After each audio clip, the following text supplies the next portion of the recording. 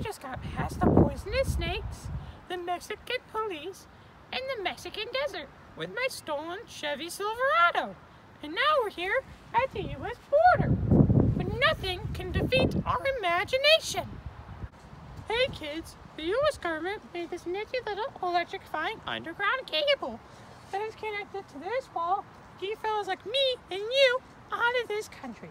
Now don't worry, as long as you don't touch it you'll be all right. Oh, frick! All right, Dora, I'm gonna revive you. Okay, kids.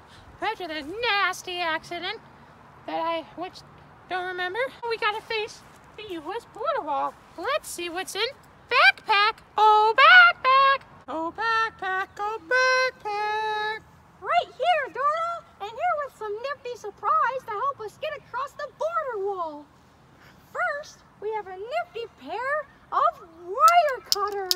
Oh, yeah. We have Ooh. a really explosive box of C4. Oh, goody It's good. a very good thing for getting past concrete. And third of all, and my personal favorite, we have an American-made handgun and its ammunition.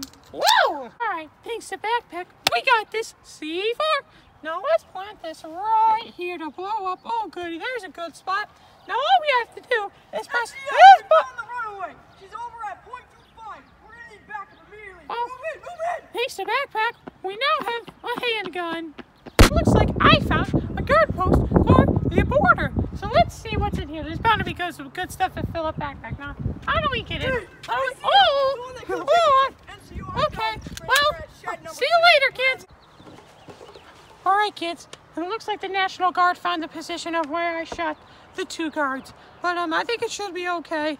Um, okay, let's see what we're dealing with here. Oh crap! Okay. See you on the next one.